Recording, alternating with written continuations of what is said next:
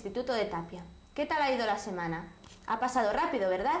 Y es que ya se lo decíamos nosotros, el tiempo pasa volando. Y es que parece que fue ayer cuando nos despedíamos de todos ustedes. Y ya ven, aquí estamos de nuevo. Esperamos que hayan salido al campo, o por lo menos a pasear por los alrededores. Ya ve que la vida pasa muy rápido. Aprovechela. No se agobie con tanto trabajo. Están tan preocupados de buscar la forma de ganar dinero que se olvidan de disfrutar la vida tal como es. Háganos caso, se puede ser feliz con muy poco. El caso es encontrar ese poco que te puede hacer feliz. Pase al aire libre, conozca nuevos placeres, eh, disfrute con sus amigos, camine en la misma dirección que su compañero. Y porque ya está bien de estar enfrentados, de estar invistiendo siempre unos contra otros. Venga, vamos, decídase de una vez. ¿No cree que lo natural es mucho mejor que lo artificial? Pues eso, venga con nosotras. Nos, vamos de marcha.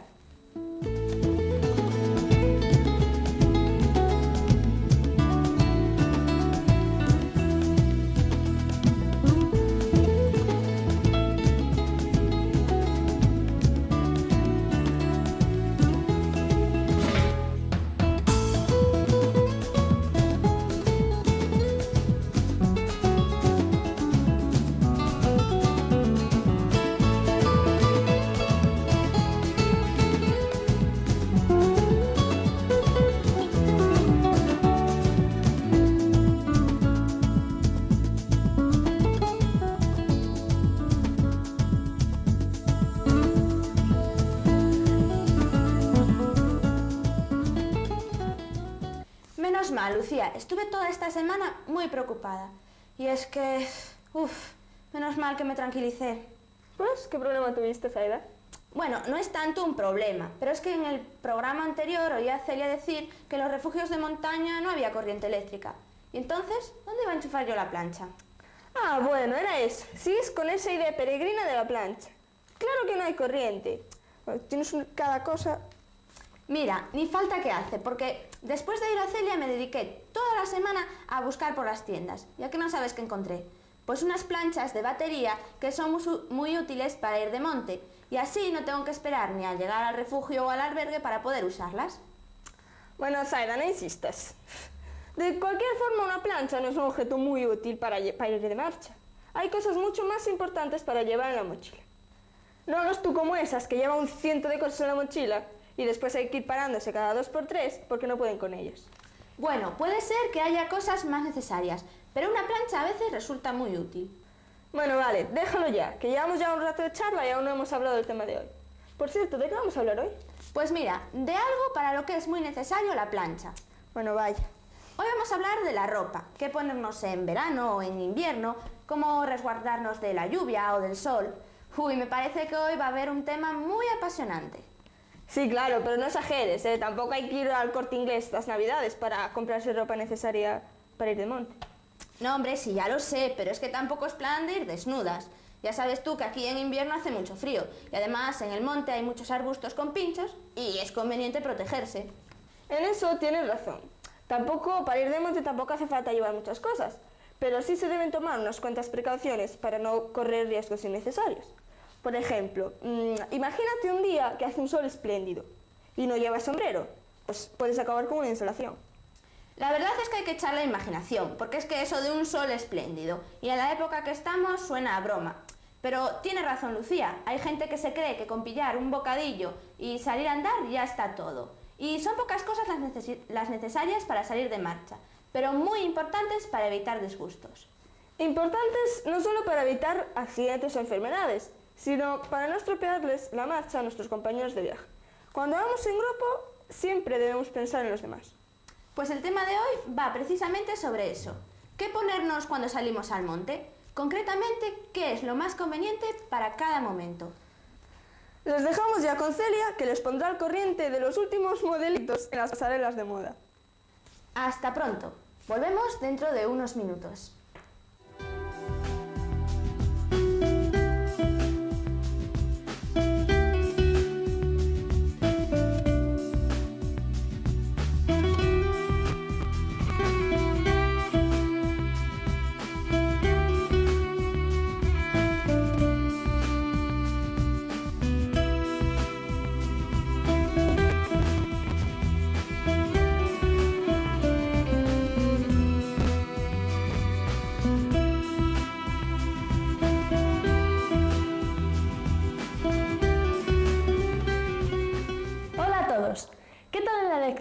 Mochila? Seguro que con los dos programas que llevamos ya le han entrado las ganas de salir a caminar. ¿Qué? ¿Ya salió? Estupendo. Pero no habrá salido desnudo. Con la mochila y las botas no es suficiente. Hombre, no es que nos preocupe demasiado que usted salga a la naturaleza al natural, pero no queremos que se resfríe y usted ya sabe que en esta época el tiempo está un poco fresquito, por lo que a continuación le daremos una serie de consejos prácticos sobre la ropa que ha de ponerse para ir al monte. Para la ropa no existen normas rígidas, todo depende del medio físico por el que vayamos a caminar, de la personalidad de cada uno y de las modas y materiales de cada época. No tienen nada que ver las vestiduras coloristas de hoy en día con los paños rígidos que vestían nuestros abuelos, ¿verdad? Vamos a ver, repasa tu armario. Camisetas, pantalones, camisas, jerseys... Parece que está todo, ¿verdad? Todo el contenido del armario encima de la cama. Pero no me digas que vas a llevar ese top y los pantalones de rapero. ¿Y cómo vas a elegir la chaqueta, juego con las botas en el último momento, hombre? Venga, tanto que te ha costado elegir las botas que vas a llevar para ahora bajar la guardia en el resto de la indumentaria.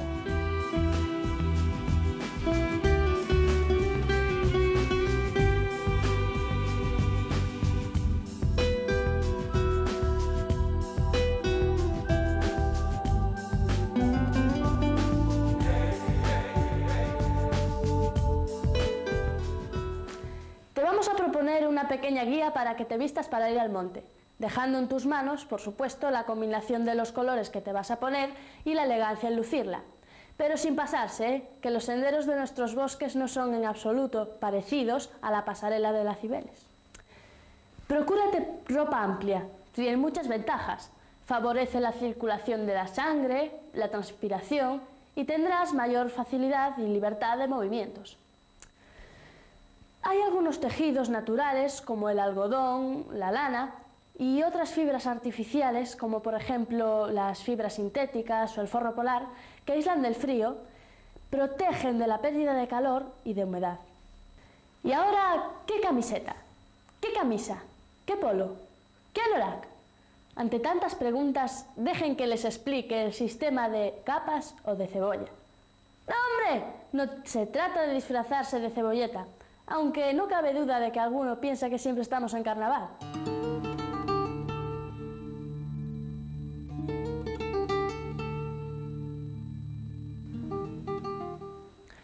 Varias capas de tejido fino son mucho más eficaces que una manta gruesa. La temperatura corporal se puede controlar abriendo y cerrando cremalleras y botones o añadiendo o eliminando capas. Vamos a ver cómo puede ser eso de la cebolla. ¿Qué capas poner o qué capas quitar? De dentro a fuera, esas capas serían. Empezaríamos, en primer lugar, por la capa interior, que es aquella que está en contacto con la piel. Debería ponerse una camiseta de algodón que se ajuste bien, pero que no apriete. El algodón permite la transpiración. Esta capa debe mantenerse lo más limpia posible, ya que la acumulación de suciedad provocaría la obstrucción de los poros. No estaría de más tampoco llevar una muda de ropa interior en la mochila por si las moscas. Seguiríamos con la segunda capa, que debe ir más suelta, con la posibilidad de mantener el calor en el cuello y en las muñecas. Podría consistir en una camiseta con el cuello tipo polo o con una camisa con cuello. Las mangas deberían poderse subir y los puños deberían tener botones. Si hace calor, esas capas serían suficientes, pero convendría llevar también protección para el viento. La tercera capa debería de ser un jersey de lana, ya que mantiene el calor, aunque, aunque usted esté empapado. Con la contrapartida, en este caso, de pesar demasiado y tardar en secarse. También puede llevar una chaqueta de forro polar, que es un tejido resistente y ligero que mantiene el cuerpo seco y caliente. ¿Qué? ¿Se va percatando de eso de las capas? Espero que la cebolla no le haga llorar. Bueno, vamos con la última de las capas. Para la última capa, no olvide que vive en el paraíso natural de la lluvia. Necesitará, por descontado, un chubasquero o un impermeable, aunque sea de bolsillo.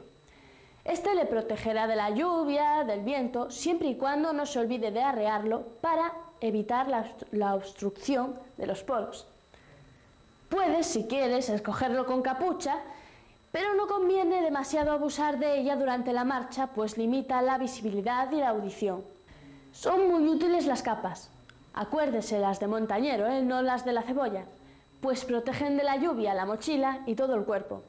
A algunos montañeros les resultan incómodas porque produce mucho calor. ¡Ey! ¡Espera! ¡Que marchas sin pantalones! Esas no son formas de salir al monte. No olvides que en el monte hay arbustos y pinchos y esas cosas que te arañan las piernas. Y después en verano a ver quién lucía esas piernas tan bonitas. La cuestión es, ¿qué pantalones hemos de ponernos? Escógelos de un material que seque rápidamente y con corte cómodo para permitir la libertad de movimientos. Es conveniente que tengan numerosos bolsillos para guardar los elementos del equipo y dejar las manos libres. Y para evitar que perder objetos en caídas o movimientos bruscos, que esos bolsillos de los que antes hablábamos tengan cremalleras, velcros e incluso un improvisado imperdible. En verano, el pantalón corto es muy recomendable, con la precaución de llevar siempre otro largo por si refresca el tiempo, para evitar las quemaduras del sol o los arañazos cuando vayamos por terreno espinoso. Y ahora vamos con los pequeños detalles, pero muy importantes para evitar que nuestra visita a la naturaleza termine en el consultorio médico. Los puntos más sensibles a la pérdida de calor son el cuello y la cabeza. Para el primero, un pañuelo que también podríamos utilizar como cabestrillo, vendaje, torniquete, etc. Para la cabeza en invierno es recomendable llevar un gorro y en verano un sombrero de alas. Abstenerse de usar viseras por tener sobre todo menos utilidades. Las gafas, con cristales filtrantes eficaces, son indispensables para evitar que la córnea se queme por la, por la reverberación del sol en la nieve o por los rayos ultravioleta. Los guantes, imprescindibles en caso de nieve, evitarían la congelación y posible pérdida de dedos. No tiene disculpa para no incluirlas. Son prendas ligeras, ocupan poco y sirven para múltiples ocasiones. Ahora ya tiene información suficiente. Elija la ropa con la que se sienta más cómodo o cómoda y venga con nosotras. ¡Nos vamos de marcha!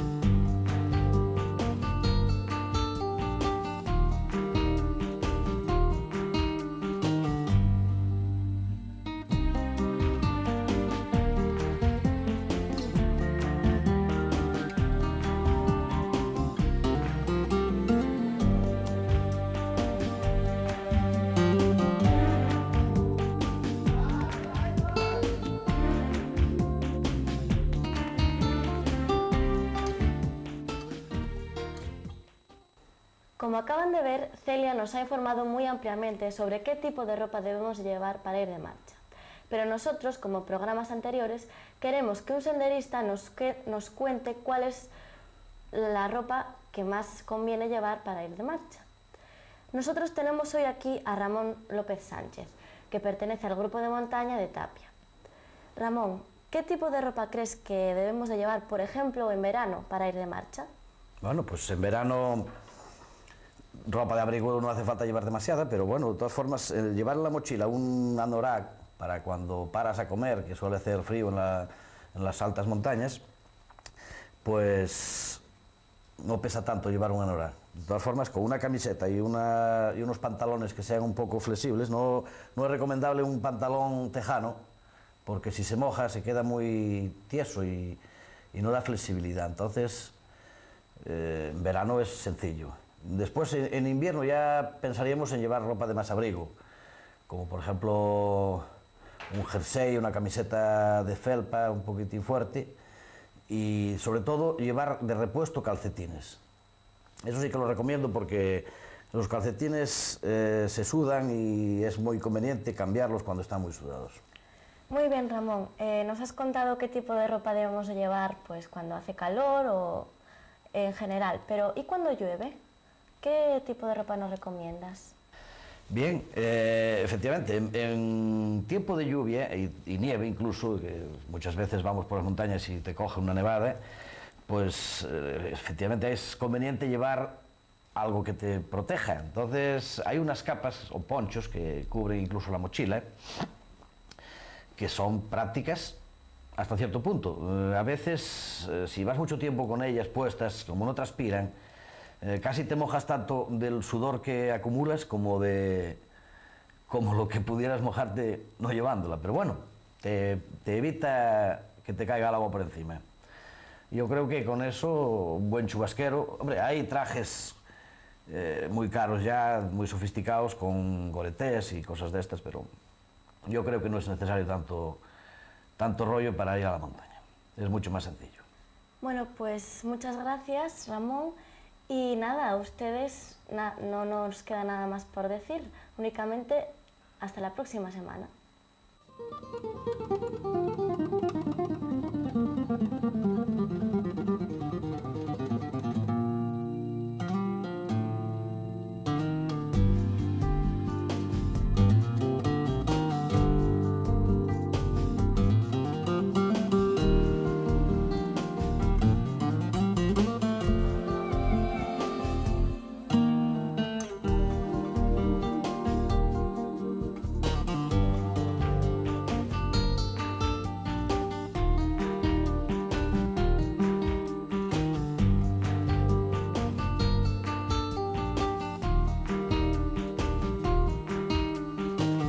Después de tanta información sobre la ropa, ya tenemos ganas de caminar un poco, ¿verdad? Pues vamos con la ruta de hoy. Dejamos las tierras de los Ozcos, a las que volveremos en cualquier momento, y nos desplazaremos hasta las tierras de Boal.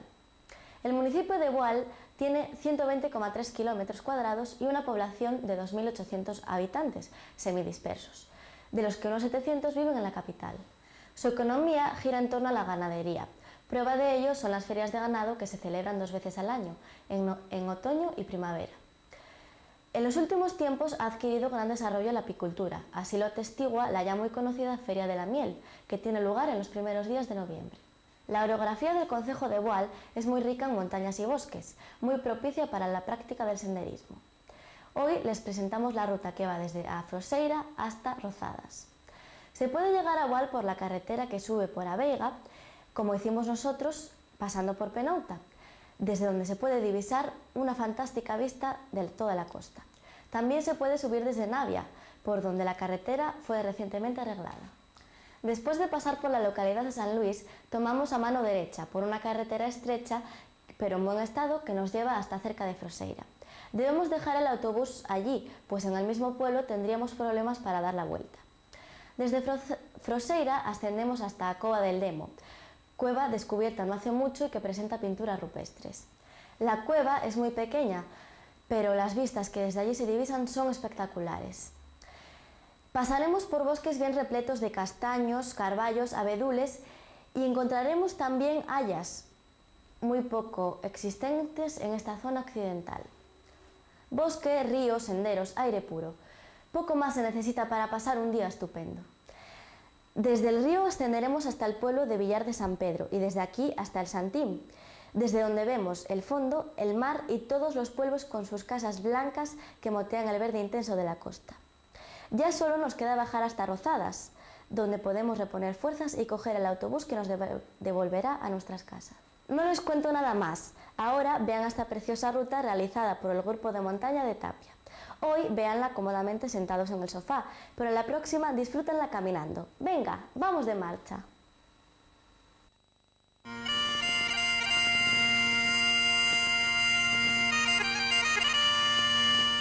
El último día de febreiro de 1999, que coincidiu con un domingo, fixemos súa travesía polo Concello de Boal.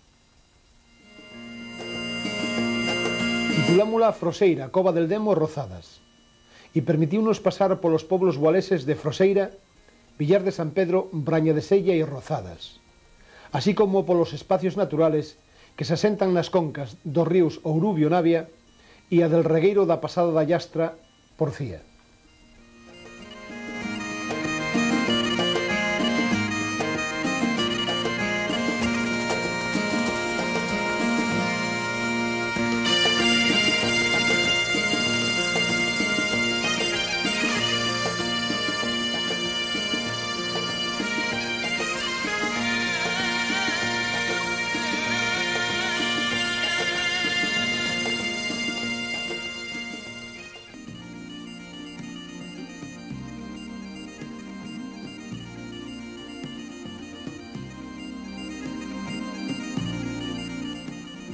Pasadas as 11 da mañá empezamos a andar.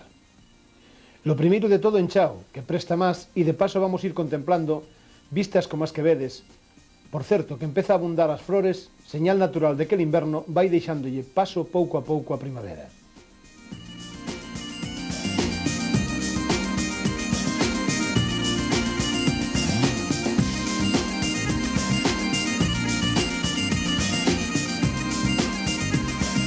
11 e media da mañá chegamos a Froseira, pequena aldea que se asenta nas dúas beiras del río Urubio. Lo primeiro, cruzar a ponte e ver un complexo etnográfico formado polo que foi unha ferreiría e lo que é hoy en día un molín en pleno uso. Demos súas voltas abichando todo o que tiemos delantre dos ollos.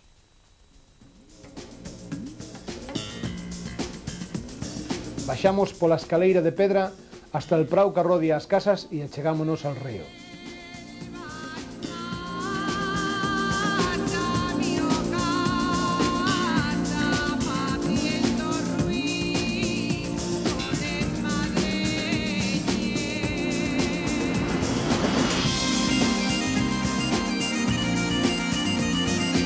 espumas, remoríos, resacas, augas que baixan rápido sorteando as pedras e pelando coas beiras. El río Urubio, tamén conocido aquí como Froseira, e máis para arriba con outros nomes, recibe as aguas dos regos da Baixada e da Ronda, e nace nas estribacións da Bobia, en Roseñalón e Fonte Sagrada, e desemboca para baixo de Froseira nel Navia, nel embalse de Doiras, frente al poblo de Silbón. Nel seu cauce hai unha ponte romana dun solo arco, que según a tradición foi feita por el Demo. Couseira é un caseirío da parroquia de Santa María Magdalena de Doiras. Está a 8 km da capital municipal e situado na zona sur del Concello de Boal, cerca del seu límite con Eilao, a 394 metros de altitud. Hai un dito por aquí que dice Si vas a Brañavara, seguro que che dan pousada. E si dormiras nel pato, botan fora al can e al gato. Mas si chegas a Froseira, xa é xente de Ribeira.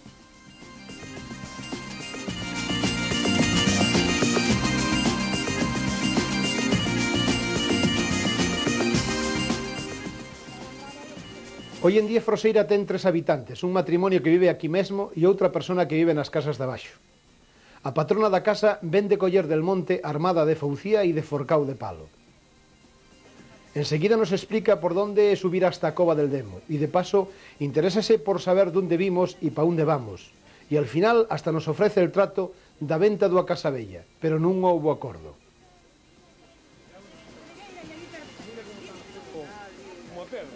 Que, que que como que has venido a ver que con...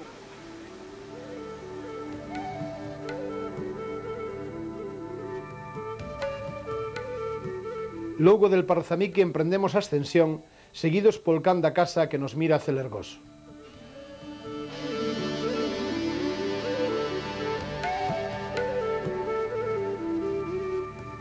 Seguindo os consellos da paisana, vamos subindo por un camín, e adentrándonos pouco a pouco nunha mancha forestal grande e preciosa, el bosque de Llanteiro, nel que está representado el noso bosque máis enxebre, el bosque autóctono por excelencia, carballos, castañeiros e vidureiras,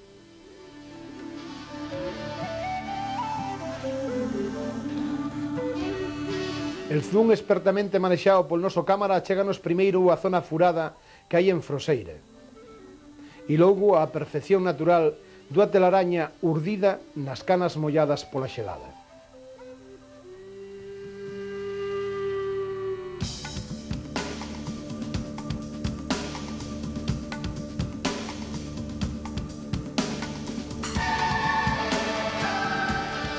Buscamos el peñascal nel que se asenta a cova del demo, e pa elo vamos ter que fer unha pronunciada subida primeiro por camín e logo por un minúsculo carreiro pol medio del monte dura subida que se notan ben nos xestos das caras e dos corpos dos andaríos. As canas dos árboles que tupen el bosque fain con marcos de madera que colgan por enriba das cabezas dos caminantes.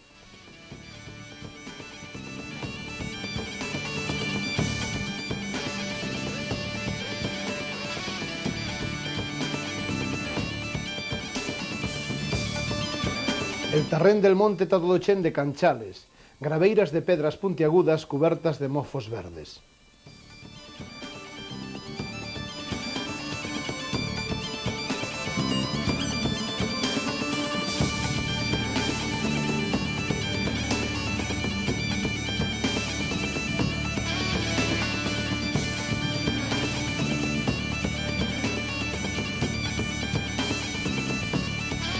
Sobre as doce e media chegamos al pé da rexa que protexe dende fai ben pouco a famosa Cova del Demo.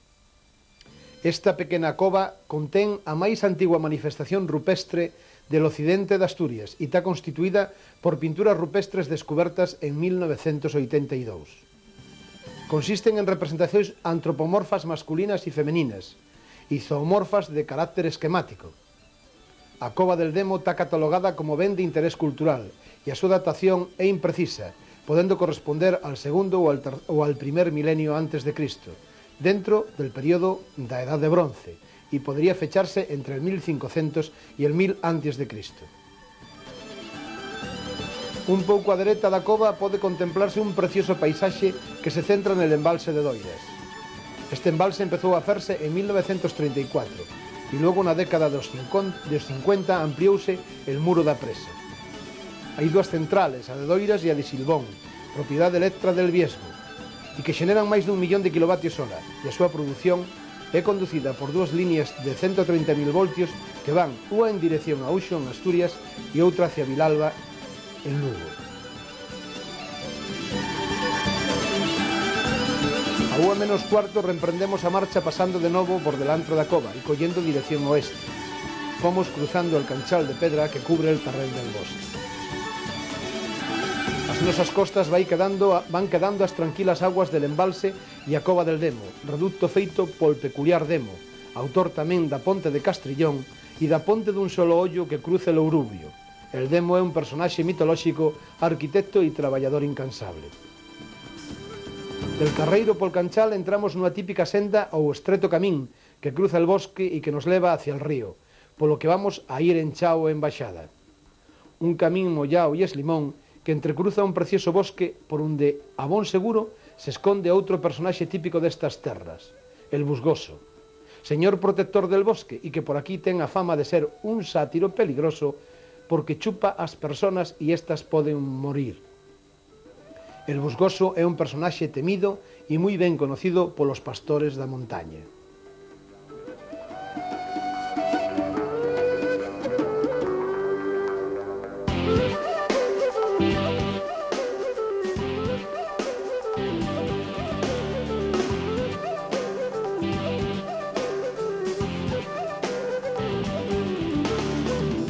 Enseguida empezamos a tisbar entre os árboles as claras aguas del Ourubio.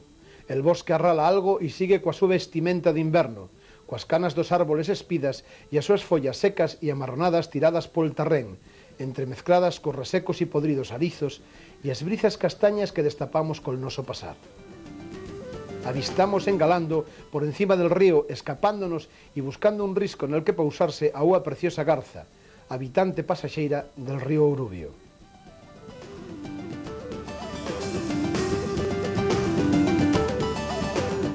Pola beira del camín vixilan el noso paso as uces floridas e tamén nos controla el sol que aluma dende el alto da serra, fendo relumos deslumbrando o objetivo da nosa cámara, deixando ver el pratear das aguas nun regueiro que salta argalleiro dende lo alto buscando sin acougo a cama del río. Chorros abrancazaos que se fain al machacar el líquido elemento es contra as pedras, de paso que se vai fendo a súa canaleta.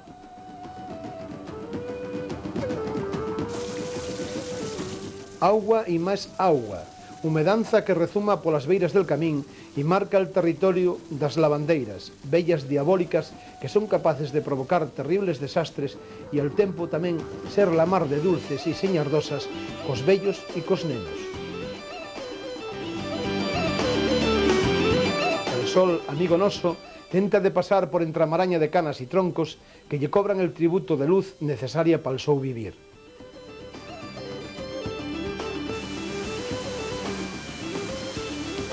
espumeiros, eimeiras, agua mazada e lixeira, guapura dun bosque e dun espacio natural incomparable.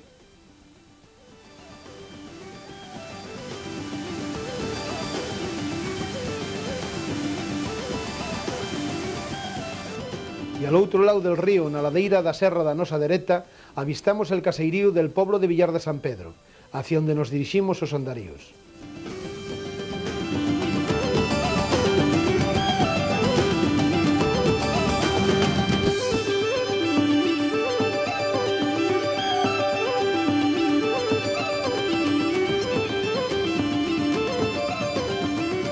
Un bon pedazo despós un cruce de camíos, sírvenos de descanso para regruparnos e pensar un de xantar hoy. Un cruce nel que, si fose un caminante solitario, estaría esperándolo xan dos camíos, un pequeno demo, pelegrín, que anda polos sendeiros de Boal e espera nos cruces e faise pesado e latoso. Pero hoy tenlo malo, porque vamos moitos e non se atreve. As dúas e media, antes das dúas e media, Paramos para xantar.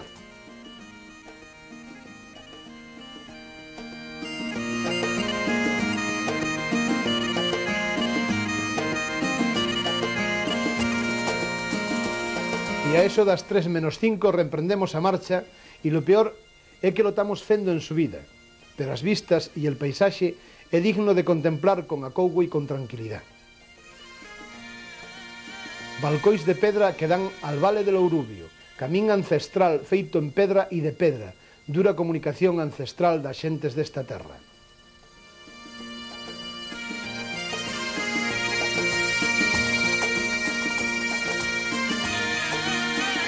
Descansos, reagrupamentos, tempo de parzamique, de contemplar toda a nosa terra, a súa pura, a súa dureza, e tempo tamén de falar coa cámara, de decir algo a tolura e de rirnos.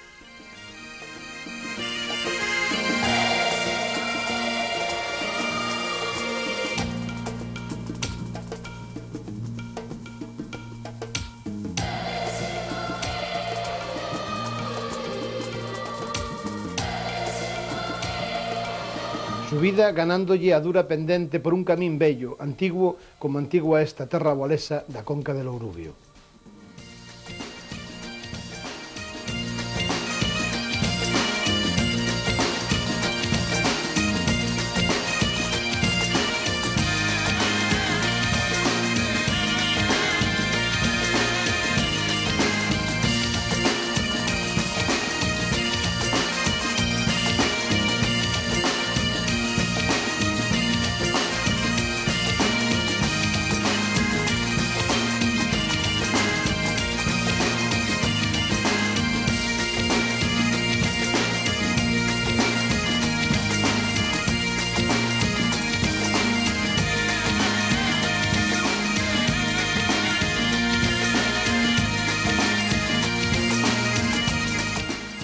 Pasadas as tres, el prestoso calellón empedrao que vai por entre árboles e matorral dan el poblo de Villar de San Pedro.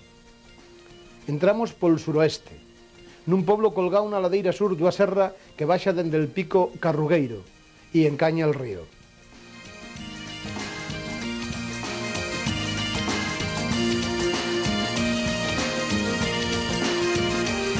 A xente del poblo que pregunta aos andaríos del porqué da súa andadura por ali e aconsella de por onde ir. Xente que sabicha e que axuda aos caminantes.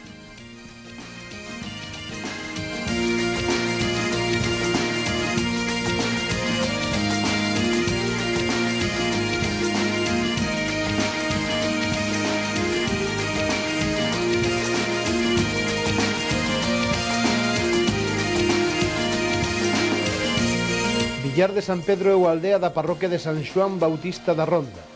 Está aos 450 metros de altura e a 8 km da capital municipal e comunica por pista con San Luis, con a Ronda e con Braña de Sella.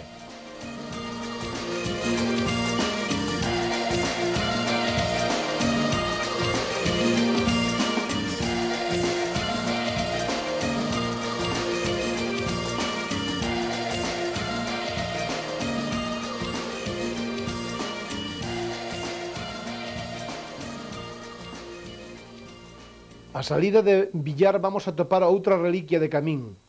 Un camín con piso de pedra na que se poden ver as rodeiras dos carros marcadas col cincel del tempo. Tramos preciosistas, hasta barrocos, coas paredes de pedra adornadas polos mofos verdes, os couxelos, as folgueiras e as ervas saladas.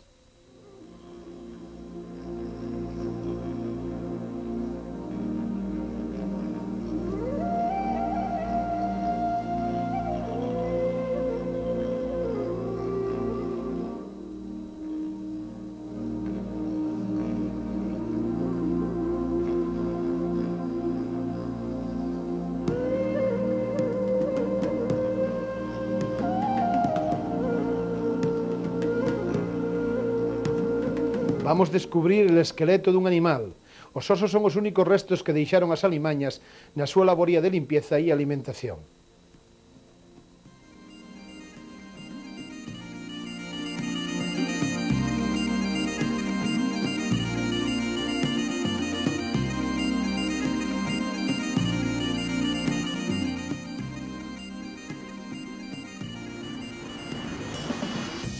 A subida é agora máis suave, igual que máis suave é tamén a naturaleza que la circunda.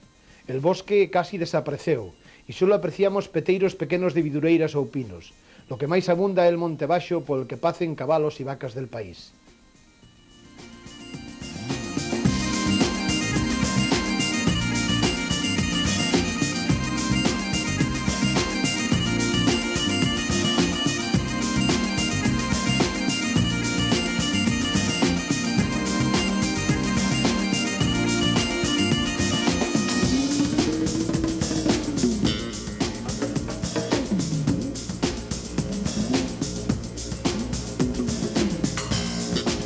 Camín máis ancho, maior relaxación e menor esforzo en el grupo, aunque pesa el cansancio acumulado dende pola mañá, polo que se agradece el descanso e cada un dos andaríos adopta a posición máis al seu xeito.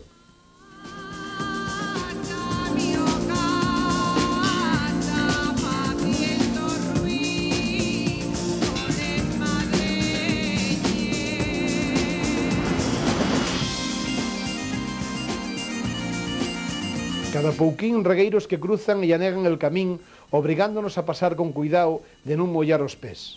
Os regos buscan a tallada del terrén que levamos vendo a nosa esquerda e que corresponde a un dos regos afluentes del Ourubio, el rego da Ronda, que nace por enriba das cortías de Braña de Sella.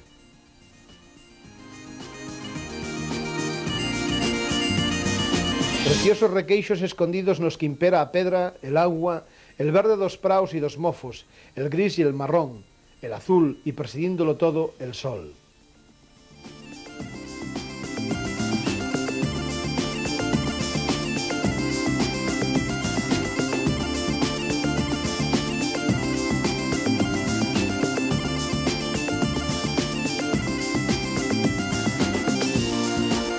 cuatro e media pasamos pol norte de Braña de Sella, pequena aldea coas súas casas prendidas na ladeira que baixa del Santín, e que pertenece á parroquia da Ronda, da que dista os 10 kilómetros del Concello, da capital del Concello. Unha cancela deixanos entrar nun prao pol que atallamos e de paso deixamos a carretera. A cancela de palos métenos nun prao costedo e temos que subir camín del alto. Pa baixar dende a parede que pecha el prao, un pasadoiro de pedra e nel camín atopámonos con un vecín de Braña de Sella que sube hacia a campa del Santín a buscar as vacas que están ali pacendo.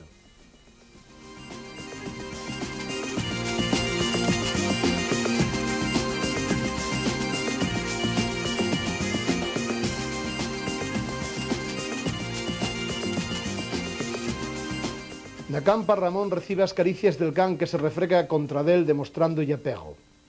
Estamos nel Santín, un alto situado a 853 metros de altura e al sur da Serra de Penouta. Preside a campa coa lagúa na que se refrexan os corpos das nosas pequenas. Cruza al alto a carretera que dende el Gumio vai pol campo de San Fernando a Bobia e a Garganta.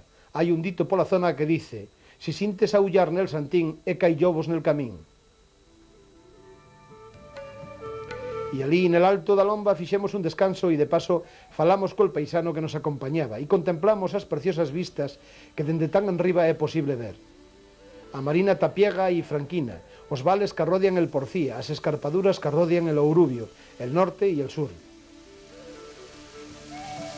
Pasadas as 5 da tarde deixamos el alto logo de despedirnos del noso amigo e empezamos a baixar hacia Rozadas. Unha fontarica que mana e un novo vale que vamos pasando, e esta vez estamos na conca del Porcía, e el rego que talla al vale da nosa esquerda é el da pasada da Llastra, que cerca da Veiga d'Ouria xúntase col Grañallonga, e os dous fain el río da Falcueira, afluente pola dereita del Porcía. Por certo, que as dúas beiras del rego esténdese outro frondose bosque autóctono.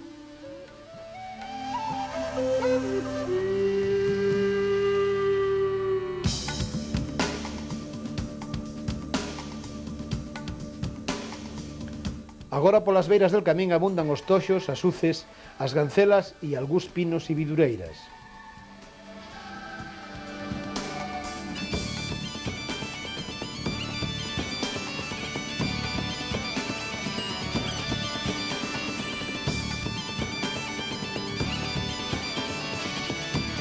Cerca das seis da tarde empezamos a ver as cortías e as casas da nosa meta, rozadas.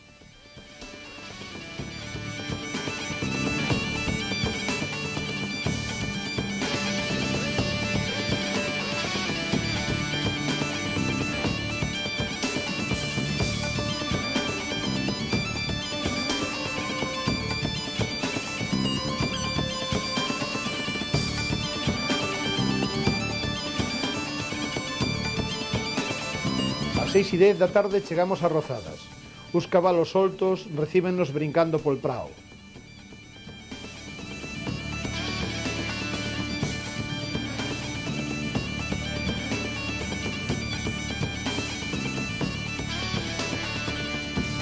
Parte del grupo entra por un calellón en la mao e logo disponse a lavar as botas na fonte. Rozadas é un poblo da parroquia de San Blas de Veigadouria e polo tanto del Concello de Boal, situado nun terrén alombado e costedo a 596 metros de altura e a 7,5 km de Boal. E como facemos quase sempre que acabamos ou pasamos por Rozada, rematamos as nosas travesías, fendo acopio de forzas con unha sabrosa merenda, cena na sociedade, colmado, chigre, restaurante, todo xunto, onde sempre nos tratan con moito cariño e onde Marisefa e Lama dispón dos sabrosos manxares propios destas terras boalesas.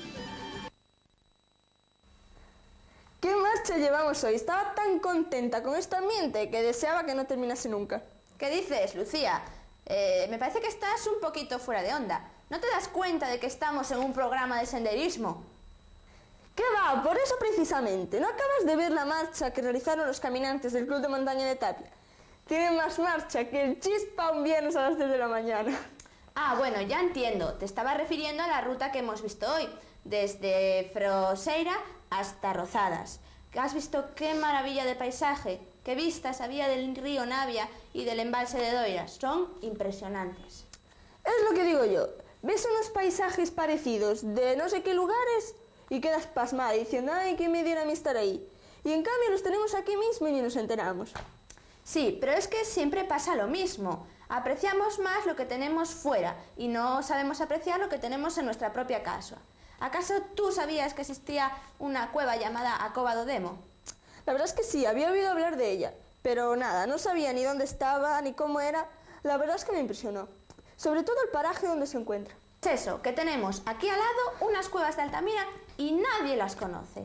No tenemos vergüenza. Bueno, tampoco te pases. No podemos comparar a Cova del Demo con las cuevas de Altamira.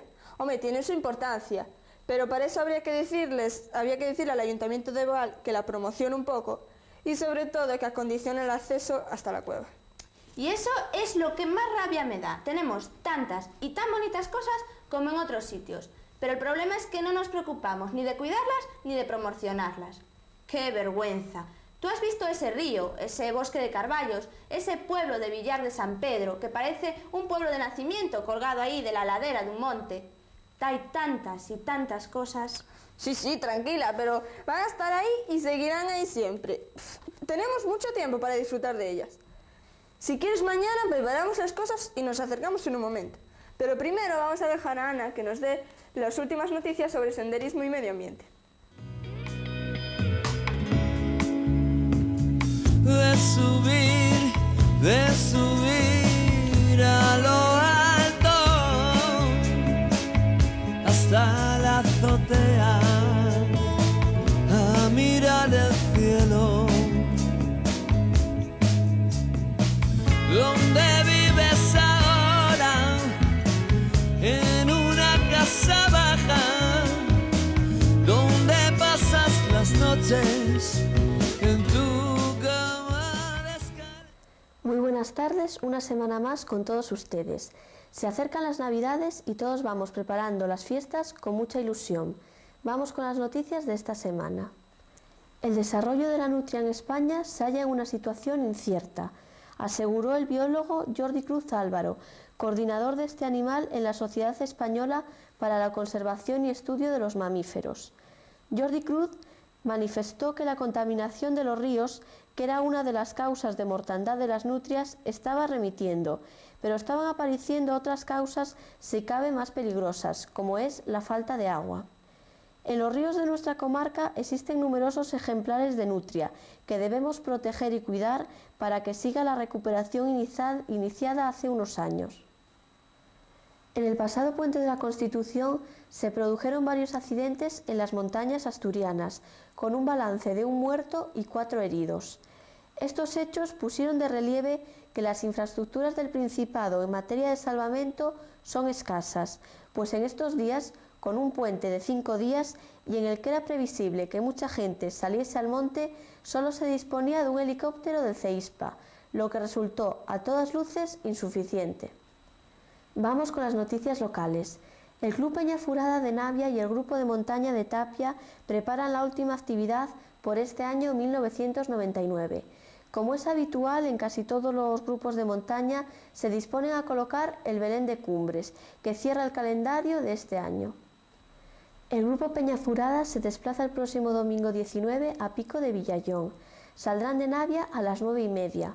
La instalación del Belén tendrá lugar a las 12. Tras la colocación del Belén se celebrará la misa en el mismo lugar. En caso de mal tiempo, la misa será en la iglesia parroquial a las 13 horas. Al finalizar la misa se repartirá boño preñado y refresco para todos los participantes. Al regreso se pasará por el pueblo de Oneta para visitar las cascadas. Se llegará a Navia sobre las cinco y media de la tarde. Por su parte, el grupo de montaña de Tapia colocará el Belén de Cumbres en Pico de Faro, en La Roda.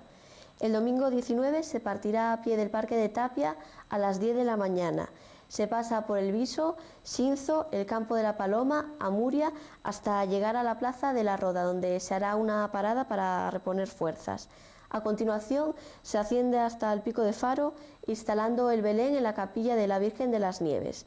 Allí se cantarán los villancicos típicos de la época y luego se descenderá hasta el campo de la iglesia del monte, donde tendrá lugar la comida y se dará por finalizada la ruta.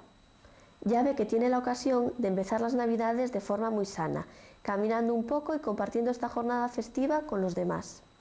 Estas rutas son muy propicias para asistir toda la familia, incluso los más pequeños de la casa.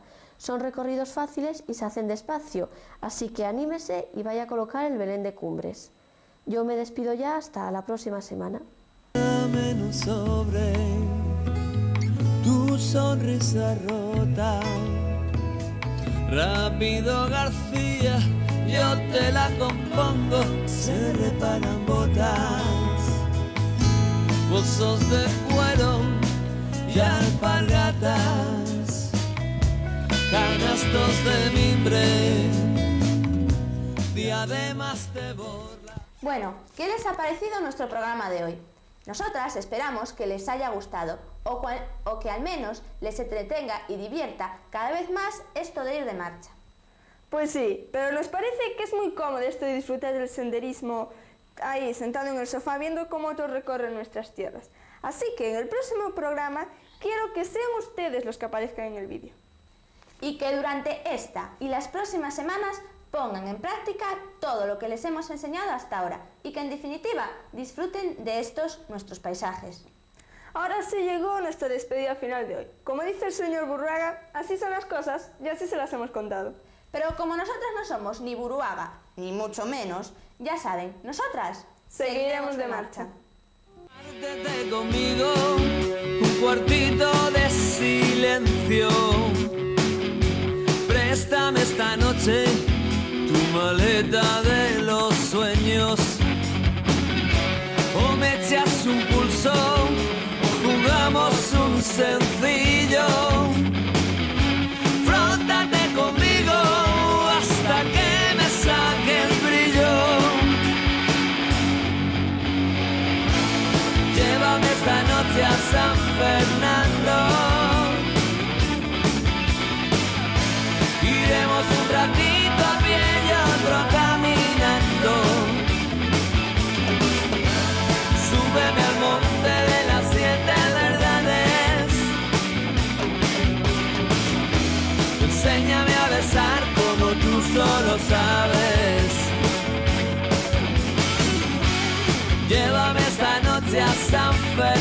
love.